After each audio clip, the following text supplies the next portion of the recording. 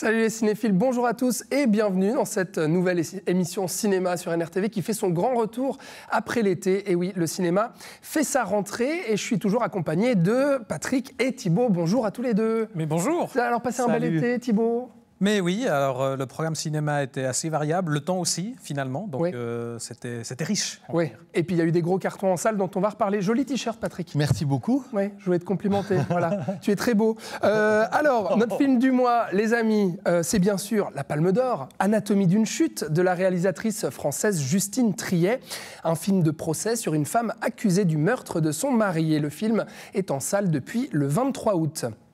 On reste dans le cinéma français avec Le Livre des Solutions, nouvelle comédie de Michel Gondry avec au casting Pierre Ninet et Blanche Gardin. Le film sortira sur les écrans le 13 septembre. Et bien sûr, je viens de le dire, on va revenir sur les deux cartons de l'été qui font toujours le plein en salle, Barbie et Oppenheimer. Ces deux films qui sont sortis le 19 juillet eh bien, font un carton monumental dans le monde et aussi dans nos cinémas en Suisse. Et on commence justement par parler de Barbie. Parce que Barbie, les amis, c'est le plus gros succès euh, mondial de cette année. 1,4 milliard de dollars de recettes dans le monde à l'heure où on parle, avec plus d'un mois d'exploitation. C'est plus de 500 000 spectateurs en Suisse. C'est énorme, hein, il faut le dire. Euh, c'est le plus gros succès aussi du studio Warner Bros. Et le plus gros succès d'un film réalisé par une femme, donc la réalisatrice américaine Greta Gerwig. Euh, Thibault, comment on explique ce succès phénoménal de, Barbie?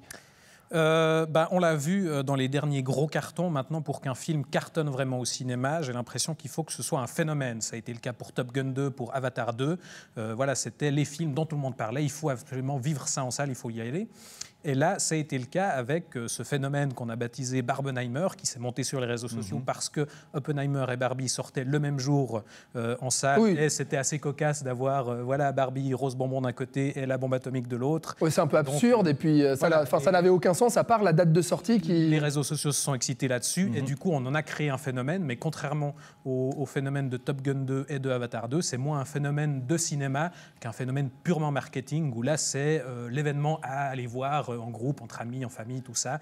Et donc, euh, bah, c'est comme ça, j'ai l'impression que ça a attiré le public en salle. Ouais, et puis en même temps, le marketing était assez euh, énorme. Hein. On ne pouvait pas passer à côté. Euh, et, puis, il y a, peut-être quelque chose qui se joue aussi sur Barbie et Oppenheimer par rapport à d'autres gros blockbusters qui sont des trucs de super-héros, d'action, où quand même le public est ciblé sur du public d'action blockbuster. Là, on, a des sujets beaucoup plus larges finalement. Donc Barbie, c'est en même temps toutes les générations, enfin plusieurs générations. Euh, plutôt les femmes, elles vont dire à leurs copains viens avec moi, puis j'irai voir Oppenheimer. Et puis Oppenheimer aussi, c'est un sujet qui peut aussi plaire à un public plus adulte. Euh, les jeunes vont venir pour le côté blockbuster. Donc, du coup, on a quelque chose de large au niveau des sujets sur ces films-là. Ouais, mais, il y a plus de public. Mais là aussi, succès très surprenant pour Oppenheimer parce que c'est presque 800 millions de dollars de recettes dans le monde. Mhm. C'est un des plus gros succès de Christopher Nolan. Juste derrière, c'est Batman, hein, la mhm. trilogie Batman. Et c'est plus de 360 000 spectateurs en Suisse. Euh, c'est phénoménal. Mais on va revenir sur Oppenheimer. Restons, je vous euh, invite à rester sur Barbie. et Barbie, alors justement, qu'est-ce qu'on en pense, Thibault Après ce, tout ce carton et puis euh, tout ce bruit qu'on en fait, ça valait la peine C'est un film qui a pas mal polarisé. D'un côté, ça a été euh, vendu comme euh, le film le plus subversif, le plus féministe de l'histoire du cinéma, et de l'autre, un horrible produit marketing à la solde de Mattel qui produit Barbie et qui produit le film également. C'est un peu ça, non? Bah, Moi, je trouve que c'est pile entre les deux. Ah il y, a des choses intéressantes, c'est subversif, mais c'est en même temps parfaitement calculé.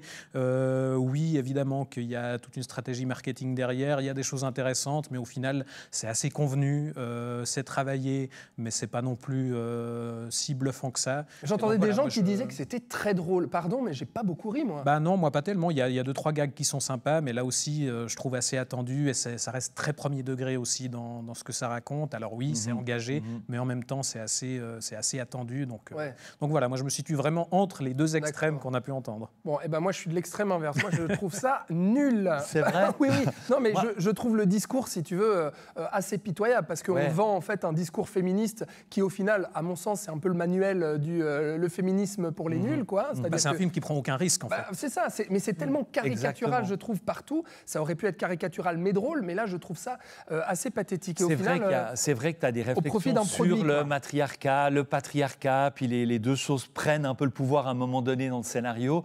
Et puis, euh, au final, pour dire, ben voilà, tout le monde est gentil, il faut s'aimer les uns les autres, enfin, genre de choses, on aurait pu attendre quelque chose. Et surtout, acheter des poupées, quoi. Moi, c'est ça aussi après, qui m'a effectivement, c'est qu'il n'y a vraiment aucune remise en question par rapport à la poupée, par rapport à l'aspect commercial.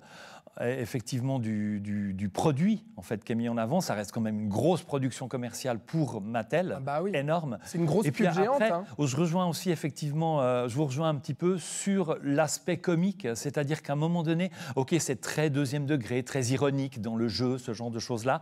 Ça dure quand même deux heures. Je trouve qu'il y a une unité de tonalité un peu tout du long, qui fait qu'au bout d'un moment, on s'ennuie un petit peu quand même. Et puis euh, voilà, c'est pas bien passionnant, ça va pas révolutionner les choses, quoi. Donc ça reste un petit peu entre deux, un petit peu mou par rapport à ce que ça aurait pu être si, pour quelque chose de plus subversif. Alors moi, ça moi, ça m'a énervé, mais vous, ça va. Hein, un mi-figue, mi-raisin. Bon, ça ne nous a pas passionné, mais bon. Voilà. bon, alors passons euh, à Oppenheimer, parce que c'est intéressant aussi de vous entendre euh, mm. dessus. Donc, euh, succès étonnant, mais Thibault nous a expliqué ce qui pouvait expliquer justement ce, ce carton aussi d'Oppenheimer, donc ce biopic sur l'inventeur hein, de, la, de la bombe atomique dans les années 40. Qu'est-ce qu'on en pense, Thibault? Euh, moi, là, pour le coup, j'ai été euh, passionné par ce film. C'est quand même un film de trois heures euh, où on a principalement des discussions dans des bureaux, avec en plus toujours ce jeu de, Nolan qui mélange trois histoires en parallèle sur différentes temporalités. et en fait, pourtant, je trouve ça aussi spectaculaire que n'importe quel blockbuster parce qu'on a justement sa science du montage qui va mêler les différentes époques, les différentes scènes, entremêler tout ça et faire une espèce de flux constant où on ne s'ennuie jamais. Ça a beau. Ah ouais voilà, euh, euh, les trois heures passent manipuler des, des, concepts scientifiques qui personnellement m'échappent complètement. Moi, j'ai jamais été perdu. Euh, les, enjeux sont parfaitement clairs. C'est fascinant dans ce que ça raconte. C'est extrêmement dense dans ce que ça raconte. Et donc là, ouais, par contre, gros gros coup de cœur. Ah, je plus sois, mon cher Thibault. on est d'accord, mais c'est pas l'avis de Patrick, je crois. Non, moi, je reprends vos éléments et c'est tout ce qui fait que j'ai pas aimé le film. Ah, en bon. T'aimes pas les films passionnants je, pense que non, mais je, pense. alors les thèmes sont intéressants, vraiment, surtout dans la deuxième partie, je trouvais le film vraiment intéressant parce qu'on retombe un peu sur nos pieds et puis euh, on, a vraiment les thèmes qui sont traités une fois que la bombe a explosé, ce genre de choses. Mais, mais, mais. Mais en fait, si on veut, je trouve que Nolan, euh, tout ce qui fait le cinéma de Nolan, qu'il utilise ici, complique totalement inutilement pour moi euh, le film. On a au début cette temporalité qui va très très vite avec un montage très rapide qui passe d'une scène à l'autre, qui survole les scènes totalement. Il n'y a aucun enjeu au début pour moi. On passe d'une scène à l'autre comme ça très rapidement, sans vraiment plonger dans, dedans. Il y a une musique qui fait tout le long pour créer du suspense de manière totalement artificielle. C'est pas Hans Zimmer cette fois, c'est Goranson. Mais, mais du coup, voilà, tout est pour moi très superficiel. Au début aussi, cette accumulation de passages d'un temps à l'autre, de noms de personnages et ce genre de choses-là, moi, à un moment donné, j'étais vraiment largué sur de quoi est-ce qui cause et qu'est-ce que savoir comme, comme influence sur ce qui est en train de se passer. Et puis, il faut Cette frénésie, elle est enivrante, et puis, je trouve, justement. non, elle crée, pour moi, c'est un suspense créé artificiel. Et ensuite, par rapport à ça, euh, le, souci, c'est qu'en fait, euh, on, reste très, très à l'extérieur. Moi, j'étais vraiment, euh, à un moment donné, j'ai dit, bon, ben voilà, on me crée du suspense et je regarde. Et en fait, tu t'es endormi, Patrick, ou Non, je ne me suis pas endormi.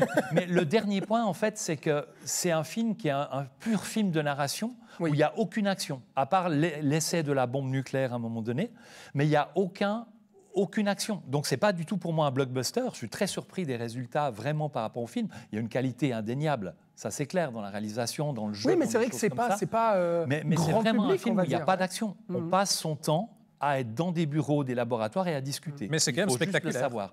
Bah oui. la façon dont c'est mis en scène. Mais si tu veux, pour moi, c'était tellement. ça me fait penser au JFK d'Oliver Stone. Mais pour moi, vois, les dialogues. Euh. C'était tellement fait de manière, euh, de manière superficielle et, il y avait. Je suis tellement pas rentré dans les scènes que finalement, c'est un artifice total qui, pour moi, me laisse complètement à l'extérieur du film. On ne t'acharne pas, mon cher Patrick. On vous mettra ça pas d'accord. fait de manière beaucoup tous les plus deux. Simple, voilà. ah, voilà. Patrick, plus efficace. Patrick n'a pas aimé Oppenheimer, il est tiède sur Barbie, mais par contre, ça a fait du bien à tes cinémas, je pense. Absolument. Ah, c'est génial. Non, non, non. C'est bien, puis ça continue. Ces films continuent à avoir un gros succès encore maintenant. Ouais, ça continue à faire des salles combles. Hein. Ouais, Alors ça, c'est ça, c'est très étonnant. On va voir justement si euh, le film suivant, eh bien, rencontrera le même succès ou non. En tout cas, en France, ça démarre plutôt bien. On va voir chez nous en Suisse. C'est bien sûr la Palme d'Or. Regardez quelques images et on en parle après.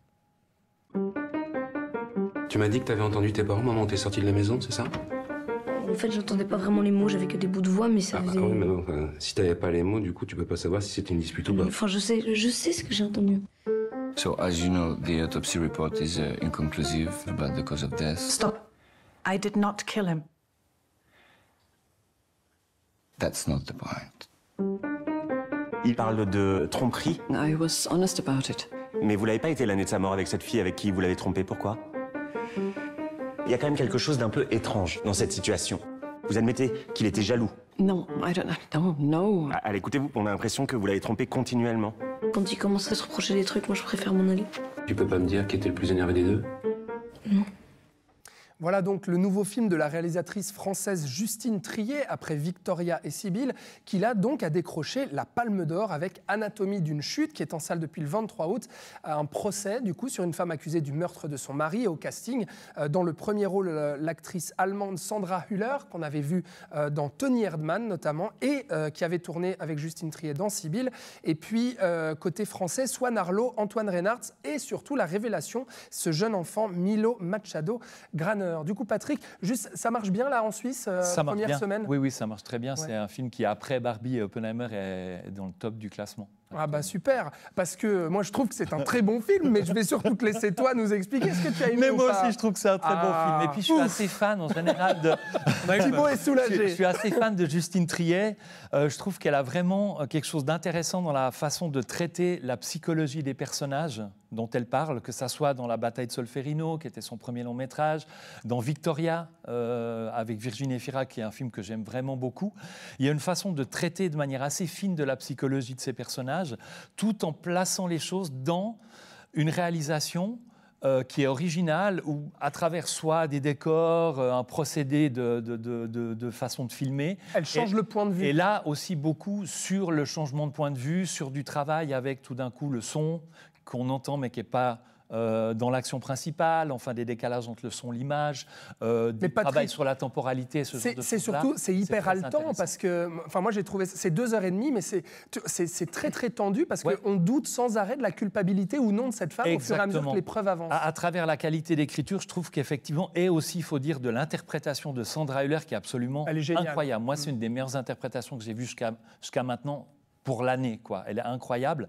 Et donc, du coup, à travers cette qualité d'écriture et l'interprétation, effectivement, on est sans cesse en train de se dire, de vouloir ou pas condamner le personnage par rapport à ce pour lequel il est accusé. Ouais, ça soulève plein de questions effectivement morales et puis euh, sociétales aussi dans un procès qui s'apparente aussi comme un thriller. Thibaut, tu avais l'air euh, soulagé que Patrick aime le film, ça veut dire que tu l'aimes aussi Oui, non, moi j'adore. Pour le coup, je trouve que c'est comme Oppenheimer finalement. c'est beaucoup de, de dialogues et voilà, de, de, scènes euh, pas, sans action spectaculaire. Un vrai film d'écriture, c'est vrai. Un vrai film d'écriture, mais moi j'étais fasciné du début à la fin. D'une manière générale, j'aime beaucoup les films de procès. Et là, c'est typiquement le, le, genre de film de procès que, que je trouve fascinant parce que c'est un film qui nous laisse travailler, euh, c'est-à-dire qui va, euh, euh, tu l'as dit, cultiver le doute tout du long. On nous place assez rapidement du point de vue de l'accusé, mais en même temps, on, en sait tout autant que quelqu'un qui serait dans le jury, mhm. justement. Ou de son avocat. voilà, et on va petit à petit découvrir de plus en plus de choses qui vont nous faire douter. Et c'est ça qui est intéressant, c'est que ce personnage, il est vraiment ambigu, contrairement mhm. à Barbie, justement. C'est un film qui dit beaucoup de choses, là aussi, sur le patriarcat, sur la place des femmes dans la société, mais qui... Sans avoir besoin de l'expliciter comme fait Barbie. Et en, faisant justement de ce personnage féminin un personnage qui a le droit d'être aussi complexe et ambigu que les personnages masculins. Et c'est pour ça que c'est hyper intéressant. Et, même sans vouloir tout trop révéler par rapport au film, ça serait dommage. Mais il y a même certaines, euh, certaines inversions au niveau du fonctionnement du Bah oui. couple, de valeurs, qui est tout à fait intéressant dans le. Et la manière le- dont une femme est jugée, en fait, euh, Ouais. et, et regardée par la société et par les différents individus qui vont justement bah, la juger au fur et à mesure des preuves. Et puis, un petit mot quand même sur le fait que c'est aussi un film qui parle beaucoup du couple, et c'est ce que Ah, Justine. Triet a toujours fait euh, Énormément. dans son cinéma. hein. C'est Mhm. un film Anatomie d'une chute, c'est aussi la, la chute euh, du couple. hein, Ah ben c'est clair que là, il y a le fonctionnement d'un couple qui est mis, euh, qui est disséqué, puis qui est analysé en même temps que, que les questionnements par rapport à la culpabilité euh, dans le procès. Il y a parallèlement, vraiment, on, on voit la construction du fonctionnement de ce couple-là, ou du dysfonctionnement de Ouais. ce couple-là. Mais c'est très ça, intelligemment ma- fait. C'est fait de manière intelligente, Et très très, fine, pertinente, Et, ouais. et voilà, encore une fois, la, la qualité de la psycho, du travail sur la psychologie de Justine Triet. Donc, Patrick, cette palme d'or est méritée, enfin, selon Thibaut euh, et, et toi, j'ai l'impression. Du coup, on encourage les spectateurs à aller voir Et Anatomie d'une chute. Bien sûr. ouais, Bon, ouais. Thibaut, pareil. Bah oui, courez-y. Bon, Oui. courez-y carrément pour voir donc cette palme d'or euh, signée euh, de la réalisatrice française Justine Trier. Et puis on parle euh, d'un réalisateur, mais qui n'arrive pas à boucler son film. C'est le sujet euh, de ce film-là, le livre des solutions. Regardez. Démarre ton projet. Fais ce que tu veux. Bienvenue dans ton camiontage. Tu tournes le volant à droite. Et pour couper Tu klaxonnes. Apprends en faisant. Il a l'air vraiment bien ton film. Et à l'arrière, on installe les producteurs. Ils peuvent rien voir là, les producteurs. Voilà, exactement, c'est ça. C'est du jamais vu. Si c'est du jamais vu, c'est peut-être que c'est pas une bonne idée. Vous allez interpréter mon corps. C'est tout simple. Ça va aller. Tu t'en sors bien.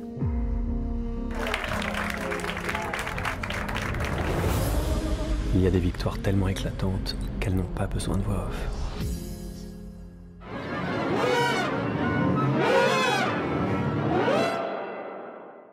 Ouais, un peu taré, hein, ce Pierre Ninet, euh, dans l'esprit toujours aussi taré de Michel Gondry, réalisateur de Eternal Sunshine of the Spotless Minds, de L'écume des jours ou de La science des rêves. Et donc au casting, outre Pierre Ninet qui est euh, impeccable et, et génialement drôle dans ce film, il y a aussi donc Blanche Gardin, Françoise Lebrun ou Vincent Elbaz. Film qui a été présenté à la quinzaine des réalisateurs à Cannes, là aussi. Euh, et la sortie en salle est prévue pour le 13 septembre. Thibaut, qu'est-ce que ça vaut le livre des solutions?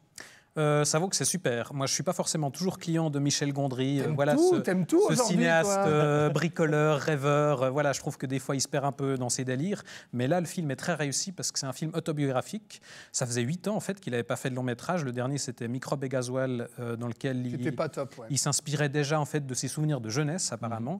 Et là, Un il fait sage. vraiment un autoportrait où le personnage de Pierre Ninet, qui est ce cinéaste un peu fantasque, qui va fuir avec son équipe pour terminer son film dans les Cévennes chez sa tante parce que le, le studio euh, comprend pas du tout ce qu'il est en train de faire. Dans un camping-car. Euh, voilà, bah, ce, ce cinéaste-là, c'est Michel Gondry et il parle de lui-même, de son fonctionnement, euh, de son trouble aussi parce qu'il a découvert il y a quelques années qu'il était bipolaire et le personnage de Pierre Ninet justement ben, souffre de voilà de sautes d'humeur assez brusques et son- on, on suit justement tout le processus avec son équipe qui doit aussi euh, euh, manager un peu tout ça et euh, subir ses sautes d'humeur et ses- suivre un peu ses, ses exigences toujours plus farfelues où il part dans des inventions et où il procrastine aussi beaucoup, il repousse toujours. euh, Mais c'est très drôle, film. franchement. Et c'est très drôle. Pierre Ninet est vraiment génial. Blanche Gardin aussi. Enfin, le casting est excellent. Et c'est aussi très touchant, justement. On voit qu'il parle de lui-même et qu'il fait une vraie autocritique. Et ça rend le film euh, ouais, vraiment, vraiment singulier. Patrick Alors, moi, j'ai trouvé ça. Alors, alors, Non, comment a- dire alors, ce que j'ai aimé dans le film, j'aime bien l'idée de défendre une liberté artistique, créative, euh, d'aller euh, jusqu'au bout de ce qu'on a envie de faire, une espèce d'ode à la liberté et une proposition de cinéma différent. Ouais. Un peu euh, irregardable en l'occurrence par rapport à ce qu'il veut faire le personnage dans le film, Oui. mais, euh, mais documentaire mais- mais sur des fourmis Et ça, aussi, c'est ouais. quelque chose que je trouve vraiment plutôt un discours plutôt bienvenu dans le film. Et on peut s'arrêter là. Au, au niveau, non, non, non. stop. Maintenant, Patrick. Non, mais au, au- au niveau du côté drôle ou, et au niveau du côté touchant, si vous voulez, euh, je- ouais, voilà quoi. Il y a quelques trucs qui m'ont un peu amusé, euh, quelques trucs qui m'ont un peu touché par rapport à- au, travail. Non, mais tu m'as Voilà, écrit, c'est- tu quand que même ça un tournait film- à vide. C'est ça un que film. dit. Voilà, je trouve qu'il y a beaucoup. C'est un film à sketch en fait. On passe sans cesse- comme le personnage qui en fait a son esprit qui part tout le temps d'une idée à l'autre en permanence. Euh, le film est construit de la même manière, c'est-à-dire qu'il part tout le temps d'une idée à l'autre, on passe d'un truc, il n'y a rien qui aboutit, enfin, etc. Et tout, donc il y a un côté un peu foutraque qui fait que ben, forcément il y a des sketchs qui nous font rire et il y a des sketchs qui nous font pas rire. Quoi. Ouais. Et puis après, euh, voilà, le rythme, Mais il est Pierre Ninet, il est incroyable. Il, il est bien, oui, Ouais. oui, tout à fait, il est bien. Et puis, euh, donc voilà, je trouve que le film nous perd un petit peu. Mais c'est normal parce que c'est ce qu'il compose, ce qui le décompose, j'ai envie Mm. Ouais. de dire un petit peu. Donc c'est normal euh, qu'il y ait des moments qui nous plaisent, d'autres moins, Voilà. puis que l'aspect touchant ou émotionnel du film reste aussi un petit peu euh, en, en delà pour moi. Donc tu as, tu as Voilà. quelques réserves, mais quelques m- réserves. malgré ces Tu réserves. essayes de me faire dire que j'ai beaucoup aimé le film. Non, pas du, pas du tout, Patrick. J'aimerais savoir si, malgré ces réserves que tu, euh, que tu évoques ici, euh, est-ce que tu conseillerais quand même d'aller voir le livre des solutions en Oui, c'est quand même un film que je peux conseiller, oui, absolument. Bon, Oui, non, compris. comme je dis, c'est très drôle et très touchant à la fois, donc vraiment, je recommande. Voilà, du bon Michel Gondry, le retour de, de Michel Gondry avec euh, bah, un film qui est vraiment euh, du, du pur cinéma Gondry, euh, comme on aime. Voilà donc pour le débat de la semaine. Merci. à- Patrick, tu étais, un peu mitigé sur les films. On t'a connu plus peu. enthousiaste Oui, hein, d'habitude. Bon, Vous avez inversé les rôles C'est le deux. début de saison, on a décidé de changer un, Un peu. Ah, peu, vous, ouais. vous changez les rôles. Bon, peut-être qu'on essaiera Thibaut ici, puis Patrick là pour la Ah oui, prochaine. comme ça, je quoi. serais devant les extraits de films. Ah. bien, bon, voilà donc pour notre débat euh, du mois. On va passer aux news. Et puis alors, euh, eh bien, si vous vous intéressez au cinéma, vous n'avez pas pu passer à côté. Eh bien, de cette grève des scénaristes qui est devenue après la grève des acteurs, ça a duré eh bien depuis ce printemps. La grève des acteurs s'est greffée euh, cet été avec des revendications euh, quant à leurs conditions de travail aux États-Unis et notamment à Hollywood. Euh, on en est où dans cette grève qui fait beaucoup parler d'elle, Thibault? Bah, on en est que ça avance pas, c'est-à-dire que bah, là, maintenant tu l'as dit, il y, a, il y a aussi les acteurs qui sont dans, dans le coup, ce qui bloque encore plus les, les productions et, et à tous les niveaux, parce que euh, la grève des scénaristes bloquait le- la pré-production, donc le développement de projets avec l'écriture des scénarios qui ne pouvaient plus se faire. Maintenant, avec la grève des acteurs, on bloque aussi la promo, puisque euh, les acteurs qui font grève n'ont pas le droit euh, non plus d'a- d'aller dans des festivals ou de, de faire des interviews pour faire la promo de leurs films. Donc voilà, ça bloque un- une strate supplémentaire de, de l'industrie. Et ça n'avance pas, les, les négociations n'aboutissent toujours pas, les studios euh, n'ont toujours pas l'air de vouloir faire euh, le moindre petit effort, et en fait ils jouent un peu à la montre où euh, ils font durer jusqu'à ce que bah, ce soit euh, plus tenable de, voilà, de prolonger la grève. Donc Bah, on- on se ça n'a pas l'air parti pour, euh, pour s'arranger. Et c'est historique, hein, depuis les années 60, Hollywood n'avait pas connu de tels mouvements de, grève qui, qui durent aussi Ouais, longtemps, et ouais. puis avec Bah, il y a eu la grève de monde. 2008, mais qui avait Oui. ouais, duré aussi, moins. je crois, une dizaine de mois ou je sais plus combien. Ouais, mais alors là, on se demande... Tous les scénaristes, je Mhm. Franchement, on se demande si ça va s'arrêter un jour, euh, cette grève, parce que les studios n'ont pas l'air décidés à pour parler, quoi. Après, moi, je suis un peu dans une situation entre deux choses. C'est-à-dire, quelque part, je trouve important que les créateurs défendent leurs droits par rapport à ce qui se présente de nouveau dans l'exploitation de films, dans la création des films. Après, en tant qu'exploitant, je commence à voir euh, que le cinéma américain, il y a beaucoup de films qui arrivent plus, qui sont décalés. Alors, certains, on comprend éventuellement par rapport à la promotion. Sur un Dune 2, j'ai un peu plus de, de Eh ben, peine à comprendre parce qu'il a, il a été reporté et je me dis que Oui. la promo de Dune 2, ben, c'était Dune 1. Ouais. Hein, quelque part, euh, voilà, les gens, ils. Euh, C'est peut-être plus complexe que ça, mais pour moi, bêtement, c'est ce que je me dis. Et, et c'est un- ça devient un peu, un peu dommage au niveau de la diversité dans ce cas-là. Maintenant, ça peut laisser la place à d'autres films euh, qui viennent d'autres pays. Oui, comme c'était pendant le Covid, en fait. Euh, hein. Voilà, pendant le Covid, où tout d'un coup, on a la possibilité de, de jouer euh, d'autres films-là. Maintenant, il faut compter sur le public pour être curieux de découvrir d'autres films, D'autres films que, euh, américain. Et c'est Dieu sait si c'est important et, Et ben, intéressant. justement, les conséquences, je vous les donne. Vous le voyez justement en image. Ce qui a fait beaucoup parler, c'est le, le fait que Dune, euh, deuxième chapitre, donc, soit déplacé. Il devait sortir en novembre. Il sortira au 15 mars 2024. Donc, c'est quand même. euh, voilà, ça, ça repousse sacrément l'échéance. On a Craven le chasseur qui a été repoussé de octobre à août prochain. Godzilla. grave, on Bah oui, mais Godzilla versus Kong, deuxième volet qui est repoussé Oh, ça, c'est de mars à avril. Mais par contre, là, vous, vous serez déçus, c'est que Spider-Man Across the Ouais, alors Spider-Verse, ça- alors, la suite, eh bien, là, repoussé, durée indéterminée. Ouais, et hein. Pour l'instant, on n'en sait ça, c'est rien. insupportable parce que la fin du premier épisode Bah oui. nous laisse dans une espèce Mais d'expectation, bien mais, sûr, insupportable. on en avait parlé dans cette émission. Il y a aussi un projet du Seigneur des Anneaux en film d'animation qui a été décalé de avril à décembre 2024. Et il y a plein de tournages à l'arrêt. Deadpool 3, Venom 3, mais ça, on s'en fiche. Par contre, Gladiator 2, bah voilà, c'est dommage. Ridley Scott ne ne peut pas continuer à tourner. Et surtout, Thibaut, Mission Impossible. Ouais, à bah alors ça, oui. Ah, alors qu'on l'attend ouais. pour l'été prochain, cette suite, parce que là aussi, Ouais. qui se termine sur un cliffhanger. Et puis, ça, c'est pour l'instant ce que l'on sait maintenant. Mais sachez qu'effectivement, eh ben, ces- tous ces décalages-là, eh ben, ça va faire des ricochets, ça va faire des dominos. Donc, ça veut dire que pas mal d'autres films de grosses productions hollywoodiennes vont certainement être décalés. Voilà donc pour ce chapitre sur la grève, mais euh, passons à quelque chose d'un peu plus réjouissant. Euh, c'est le nouveau film de Hayao Miyazaki, donc le cinéaste japonais euh, qui a créé Le Voyage de Chihiro, Princesse Mononoke et autres grands succès du studio Ghibli. Eh bien ça y est, vous le voyez, les premières images de son film Le Garçon et le Héron, son nouveau film, ça fait dix ans qu'il n'avait pas sorti de film Miyazaki depuis 2013 et Le Vent se lève.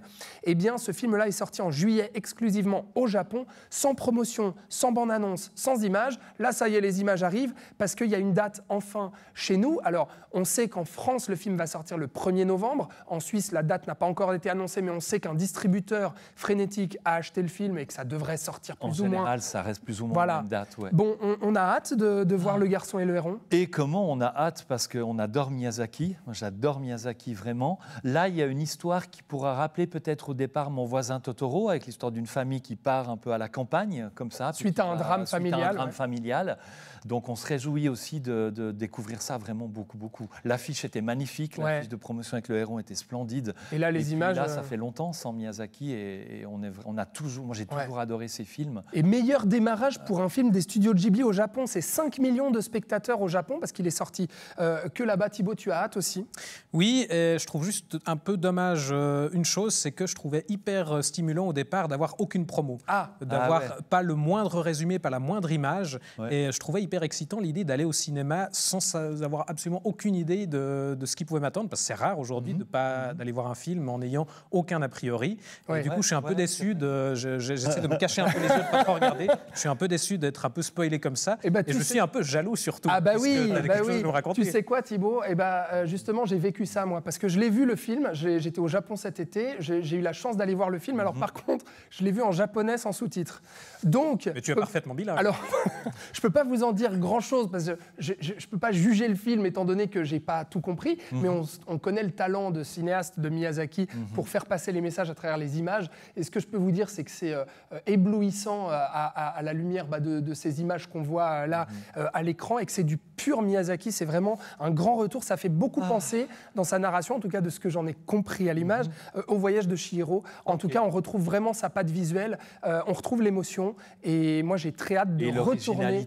le côté, euh, Ah le ouais, côté, totalement. euh, fantastique. et Ah bah avec ça, les créatures que vous venez de voir. Donc j'ai très très hâte de retourner le voir tellement. en salle le 1er novembre s'il sort en même temps qu'en France, chez nous en Suisse. Voilà donc pour Le Garçon et le Héron euh, de Hayao Miyazaki. On passe tout de suite à l'agenda des événements cinéma. Prends ton petit papier, Patrick. Ça marche. Alors on commence par, bah, ça arrive tout de suite, hein, c'est ce week-end, c'est le 3 septembre, ce dimanche, euh, la journée du cinéma Alliance avec la place de ciné à 5 francs. Bah voilà, profitez, Ouais, il y a plein de bons films à voir. 550 salles en Suisse, donc allez-y. Dans notre région, ça sera dans les cinémas de Nyon, de Morges et d'Aubonne. À noter au programme à Nyon, des nocturnes avec des films de genre, euh, La main et Le dernier voyage du Déméter.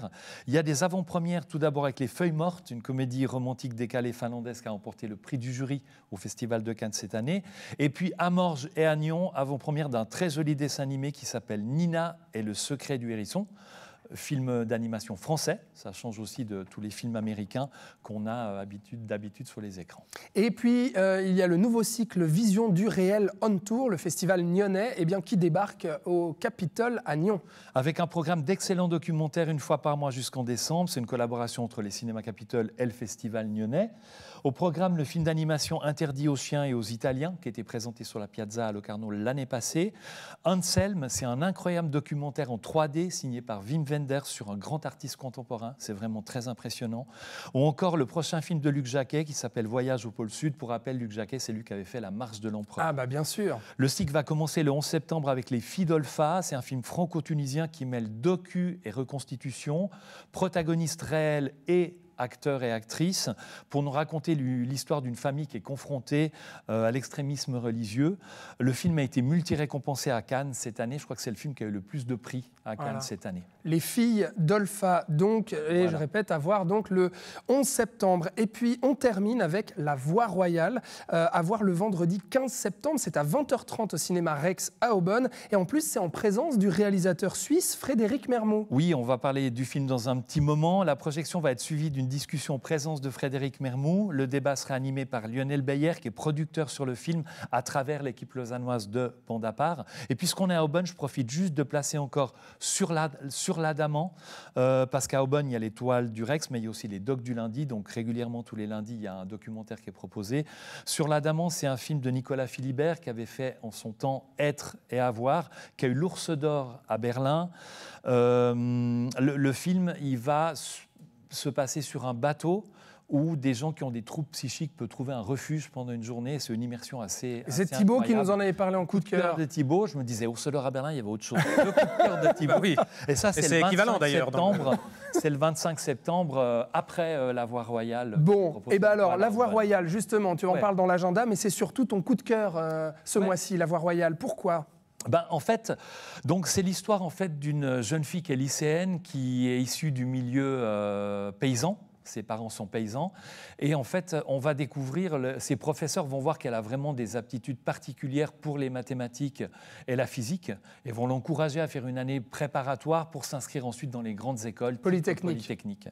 Donc le, film va la suivre pendant cette année euh, de préparation, où tout d'un coup, en arrivant dans cette école, elle va se confronter à des difficultés supplémentaires, des exigences supplémentaires par rapport à, la science, etc. Et pourquoi c'est bien? C'est rudement bien en fait parce que rudement bien. C'est rudement bien parce qu'en fait, il y a une réalisation qui parfois est assez dynamique, je trouve, qui est intéressante avec des passages musicaux comme ça qui sont plutôt pas mal. Euh, il y a deux actrices qui sont extraordinaires, Suzanne Joannet et puis Marie Collomb, qui sont deux révélations sur le film, qui sont vraiment extra dans les deux rôles principaux. Et puis je trouve qu'il y a quelque chose qui se raconte dans le film par rapport à la jeunesse sur la volonté de quand même faire quelque chose dans la vie, de se dépasser, d'aller au bout et de se battre par rapport à ce qu'on veut. Et de grimper les l'échelle sociale. Et l'échelle sociale qui est vraiment intéressant dans ce qui est proposé. Et puis c'est un film produit euh, par, par une équipe de production suisse romande, donc soutenons-les aussi. Soutenons la Suisse romande avec La Voix royale de Frédéric Mermous, c'est attendu dans nos salles le 13 septembre. Et puis je répète que c'est le 15 septembre à 20h30 au cinéma Rex à Aubonne en présence du cinéaste. Euh, Thibaut, toi, tu as un coup de cœur. Alors, coup de cœur euh, de 2018, hein. euh, La fille au bracelet, ça s'appelle, de Stéphane Demoustier, et tu as voulu nous en parler parce que film de procès. Voilà, et donc euh, Anatomie d'une chute. moi, j'ai pas mal pensé à, ce film-là en, en, voyant le Justine Triet. Effectivement, film de procès, où là, on va suivre le procès d'une ado qui est accusée d'avoir assassiné sa meilleure amie. Et bah, le, procès, enfin, il y a pas mal de choses en commun entre ces deux films, mm-hmm. notamment justement cette idée de, de cultiver un peu le doute, et vraiment de nous mettre dans une position de, où on doit euh, réfléchir un petit peu et, décider. On est vraiment dans la position d'un juré. Et, ce que je trouve vraiment fascinant, c'est que c'est un film qui est très sobre dans sa mise en scène. il y a, voilà, c'est souvent des longs plans fixes justement sur euh, les gens qui témoignent à la cour. Et on a justement du coup l'impression d'être vraiment bah, sur le banc des jurés et de devoir euh, décider si on croit ou non, qu'est-ce qu'on pense de tout ça. Et c'est du coup c'est hyper stimulant comme film. Là aussi, là aussi, on raconte plein de choses. Euh, sur euh, voilà, le statut social de cette adolescente et, voilà, de, plein de choses intéressantes. Donc là aussi, film très dense. Euh, Ça vaut la peine donc de le voir chez soi, donc en DVD, Blu-ray, VOD, enfin bref. Vous vous débrouillez, vous regardez La fille au bracelet chez vous. Merci les amis pour vos coups de cœur. Voici le mien, hein, avant de terminer l'émission quand même, un petit coup de cœur. C'est Yannick de Quentin Dupieux, cinéaste français bah, très prolifique, hein, qui fait pratiquement deux films par an maintenant, puisque en plus il fait des, films très courts. Hein. Là, c'est un petit film d'une heure. Ça sort le 6 septembre dans quelques salles hein, en Suisse romande, à Genève, à Lausanne, à La Chaux-de-Fonds. Euh, et puis, euh, c'est une comédie où on voit une pièce de théâtre. Il y a Pio Marmaille et Blanche Gardin qui font une pièce de boulevard complètement ratée. Et puis, Raphaël Quenard incarne ce Yannick. C'est un peu euh, le, spectateur lambda, modeste, spectateur moyen, comme ils aiment, comme Quentin Dupieux aime à le décrire. Et puis, il va arrêter la pièce. Il va dire, mais vous faites n'importe quoi, c'est complètement nul votre truc. Il va sortir un pistolet. Quel et puis, il va prendre en otage toute la salle de spectacle. Oh là là. Et puis là commence bah, voilà, un rapport de force inversé. Euh, c'est une comédie, hein une tragicomédie, parce qu'il y a pas mal d'émotions pour un Quentin Dupieux. Euh, J'ai trouvé ça assez, euh, assez intéressant, assez réjouissant. Voilà. Merci à tous les deux, Thibaut, Patrick. Avec plaisir. On se retrouve Alex. le mois prochain? Oui, oui. voilà. Ouais. Et merci à Rodion qui a filmé cette émission. Rodion, on veut te voir. Re- mon- montre la caméra depuis la régie. Voilà, qu'on te voit. Si la caméra est branchée, bien sûr, qu'on te fasse un petit coucou, surtout pour te remercier. Ah voilà, on, en- on entend notre cher Rodion. Merci Rodion d'avoir réalisé ces émissions cinéma et merci qui est à vous, euh, chez vous, d'avoir regardé ce programme, cette émission de la rentrée. On se retrouve au début du mois d'octobre. Bon film, bonne toile, à bientôt.